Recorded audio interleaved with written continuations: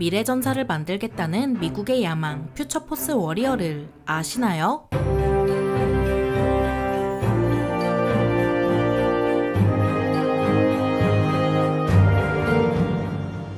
안녕하세요. 지식 스토리입니다. 이번에는 전 장병을 캡틴 아메리카를 만들겠다는 퓨처포스 워리어에 대해 알아볼 텐데요. 인류가 돌을 던지며 싸우던 시대부터 광학 조준경을 단 돌격소총으로 싸우는 오늘날까지 보병은 유구한 역사를 자랑합니다. 하지만 유구한 역사와는 달리 보병은 항상 전장에서 소모품과 같은 처지였는데요. 그도 그럴 게 기병부터 공격 헬기까지 죽이겠다는 의지로 가득한 무기가 판치는 전장에서 보병은 파리 목숨이나 다름없었죠. 그래서 과거에는 각종 갑옷을 껴입었지만 이것도 총알을 막지 못하자 그냥 내다 버리고 철모만 쓴 채로 싸웠습니다. 하지만 오펜하이머가 두고두고 후회한 무시무시한 무기가 나오는데요. 단 한 번의 폭발로 수십만 명의 사상자를 내는 핵폭탄은 그 어떤 무기도 장난감으로 만드는 세상을 파괴할 무기라 봐도 과언이 아닙니다. 1959년 미국의 잡지인 라이프에 미 육군의 미래보병 컨셉이 실리게 되는데요. 뭔가 엑스트라 같이 생긴 이 미래보병의 중점은 다름 아닌 핵전쟁에서 싸우는 것이었습니다. 이를 위해 방열 마스크와 장갑을 착용하고 당시로선 최선이었던 각종 장비를 갖춘 건데요. 적외선 망원경과 조준경, 헬멧 라디오와 마이크, 나일론 방탄조끼, 참호 돌파용 폭약, 그리고 점프벨트라는 요상한 걸 갖췄습니다. 설마 점프팩은 아니겠죠? 아무튼 소련의 베를린 봉쇄로 고조된 미소냉전은 전면 핵전쟁이라는 최악의 사태도 염두에 뒀던 만큼 마냥 말도 안 되는 컨셉은 아니었습니다. 특히 1959년의 미래보병은 참호 돌파용 폭약을 지고 다니는데요. 미군은 전면 핵전쟁 이후에는 1차 대전 같은 참호전이 벌어질 거라 예상 한 거겠죠. 현재 진행 중인 우크라이나 전쟁도 공군이나 해군으로 결판을 내지 못해서 1, 2차 대전 같은 전법을 반복하고 있는 상황인데요. 핵전쟁이라면 공군과 해군은 고사하고 전차조차 참호 속에 숨어 있는 게 아니라면 전자기 펄스와 열 그리고 충격파로 망가지겠죠. 하지만 소련이 붕괴되면서 냉전이 막을 내릴 때까지 전면 핵전쟁은 벌어지지 않았고 지구는 방사능 황무지가 되는 엔딩을 피했습니다. 하지만 미군에게는 다른 문제가 있었는데요. 바로 보병의 생존율입니다. 현대 미군의 보병 장비는 세계 어느 나라와 비교해도 전혀 꿀릴 게 없는 수준이지만 80년대까지만 해도 한국군이나 미군이나 비슷했는데요. 그러나 90년대에 들어서 모가디슈 전투를 겪은 미군은 시가전에서 보병 장비가 상당히 중요하다는 걸 깨닫고 대대적으로 투자하기 시작합니다. 방탄 헬멧과 방탄복을 시작으로 각종 보병 장비를 개발해서 보급한 미군은 여기서 한 발 더 나가는데요. 바로 미래 보병을 만들자는 거였죠. 20세기에서 21세기로 넘어가면서 사람들의 예상과 달리 급속도로 발전한 분야가 다름 아닌 IT 기술인데요.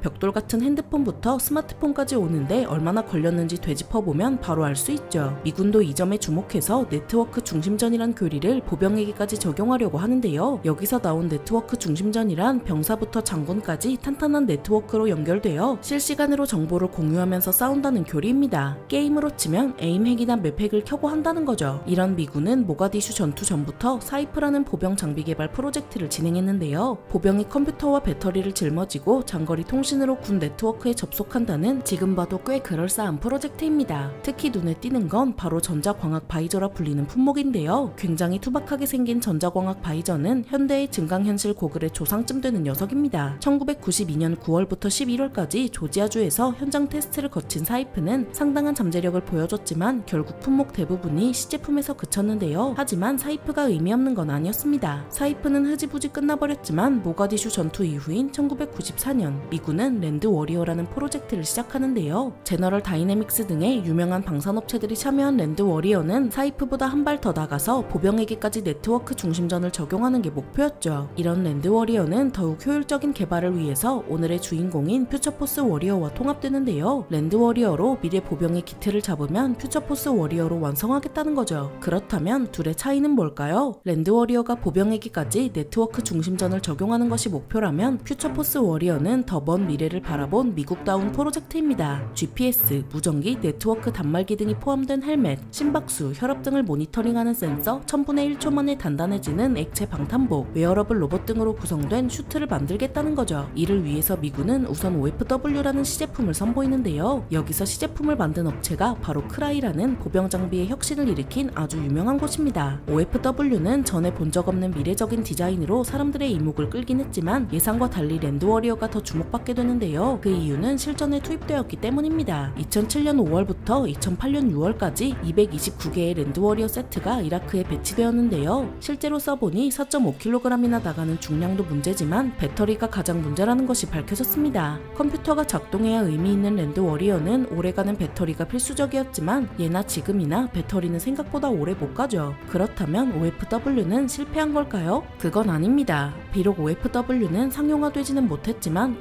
OFW를 만들어 본 Crye는 그 경험을 토대로 MultiCam, combat 셔츠, plate carrier 등을 선보였고 이는 보병 장비의 혁신이라 해도 과언이 아닌데요. 그러니까 OFW가 없었다면 지금의 Crye도 없을 뿐더러 많은 군인은 여전히 전투복에 X반도나 차고 다녔겠죠. 한편 실전에서 중량과 배터리 문제가 노출되었음에도 계속 쓰이던 Land Warrior는 2010년 6월부터 Nett Warrior로 이름이 변경됩니다. 여기서 Nett은 네트워크의 준말이 아니라 2차 대전 당시 명예 훈장을 받은 로버트 B. 넷 중위의 이름을 딴 것이었는데요. 이 사람이 대체 누구냐고요? 미국 장교 후보 학교의 아버지라 불리는 태평양 전쟁의 영웅입니다. 중대를 이끌고 일본군과 싸워 명예훈장을 받은 넷은 군복무를 마친 후에도 학사학위를 따고 리더십과 의무를 주제로 자주 강연했는데요. 이런 넷의 이름을 물려받은 Nett Warrior는 2011년 봄에 처음 선보여졌습니다. 하지만 4.5kg이나 나가는 중량은 여전해서 미군은 이걸 어떻게 해결할지 고민했는데요. 장병들 손에 들려있는 스마트폰이 눈에 들어온 미군은 그냥 이걸 단말기로 써버리기로 정합니다. 덕분에 무게가 1.4kg 미만으로 줄어든 Nett Warrior는 휴대용 무전기에 스마트폰을 연결해서 군 네트워크에 접속해 앱으로 이것저것 할 수 있죠. 이렇게 Land Warrior에서 벗어난 Nett Warrior는 훈련을 통해 문제점을 찾아내는데요. 바로 옆에 있는 아군을 몇 킬로미터 떨어져 있다고 표시하고 통역기가 방언과 속어를 제대로 인식하지 못하며 네트워크 연결이 반복적으로 중단되고 대역폭이 제한된 탓에 앱이 짜증날 정도로 느렸죠. Nett Warrior를 써본 장병들은 이거 쓰다간 다 죽겠다라며 자신의 스마트폰과 Nett Warrior를 비교했는데요. 이에 미군은 2012년 중반까지 모토로라 Atrix를 Nett Warrior의 단말기로 썼지만 저해상도 화면이 너무 밝고 배터리 수명이 짧다는 무시 못할 문제가 있었습니다. 그래서 미군은 단말기로 쓸 스마트폰을 삼성 제품으로 바꾸는데요. 2013년 7월 갤럭시 노트 2를 Nett Warrior에 쓰기로 정한 미군은 개당 700달러라는 시가로 사들입니다. 만약 스마트폰을 쓰지 않고 단말기를 따로 개발하면 예산이 불어나는 문제가 있어서 미군은 여러 문제에도 스마트폰을 밀고 가야 했는데요. 하지만 그렇다고 노트 2를 그대로 쓰진 않아서 와이파이, 블루투스 등의 기능이 제거되고 미 국가안보국이 승인한 소프트웨어만 설치되죠. 넷 워리어는 여기서 그치지 않고 퓨처포스 워리어를 위한 사전 단계인 만큼 차세대 USB 허브를 추가할 예정인데요. 조준, 거리 측정, 야간 투시, 열 화상, 생체 인식, 드론 등 미래에 쓸 다양한 기능을 연결하기 위한 차세대 USB 허브는 무선 연결을 목표로 하고 있습니다. 미군에서는 현재 넷 워리어를 시험하고 있으며 결과는 성공적이었는데요. 넷 워리어는 성공에 안주 하지 않고 생체 정보를 수집하고 분석하는 연구를 진행 중이며 군용차에서 넷 워리어를 무선 충전하고 자동으로 데이터까지 받을 수 있도록 개발하고 있습니다. 이런 넷 워리어가 완성되면 완성될수록 퓨처포스 워리어도 가까워지는데요. 미군은 탈로스 프로젝트를 통해 차세대 전투복을 도입하려 했으며 마이크로소프트와 협력해 증강현실 고글인 아이바스를 개발하는 등 여러 프로젝트를 진행 중이죠. 앞으로 넷 워리어를 넘어 퓨처포스 워리어까지 완성되면 미군은 범접할 수 없는 경지에 이를 것 같습니다. 전 장병을 캡틴 아메리카로 만들겠다는 퓨처포스 워리어에 대해 알아봤는데요. 영상이 유익하셨다면 구독과 좋아요 부탁드립니다. 감사합니다. 지식 스토리였습니다.